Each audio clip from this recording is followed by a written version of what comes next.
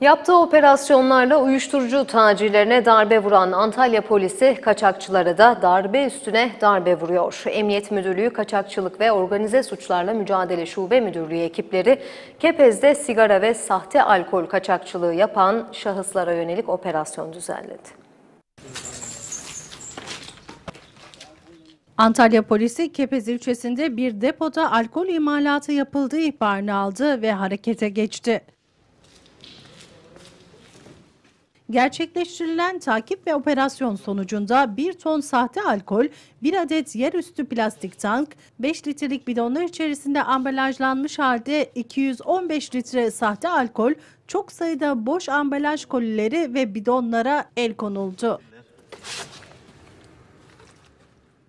Kaçakçılık ve Organize Suçlarla Mücadele Şube Müdürlüğü ekipleri tarafından yürütülen bir diğer operasyonsa yine Kepez'de başka bir adresi oldu.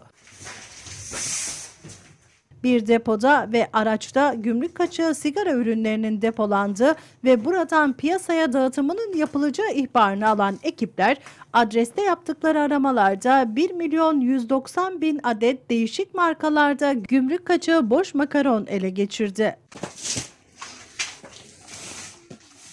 Her iki olayda ele geçirilen kaçak malzemelerin toplam piyasa değerinin 200 bin lira olduğu belirtilirken operasyonlarda yakalanan 3 şahıs hakkında 5607 sayılı kaçakçılıkla mücadele kanununa muhalefet suçundan adli işlemler yapıldığı açıklandı.